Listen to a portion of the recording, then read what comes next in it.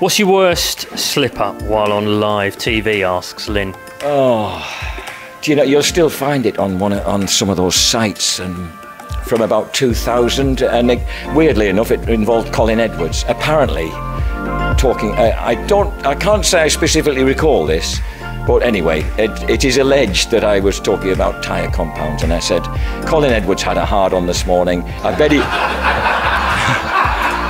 I bet he wishes he still had a hard on this afternoon that's, that's what I said. And how soon after did you realise what you said?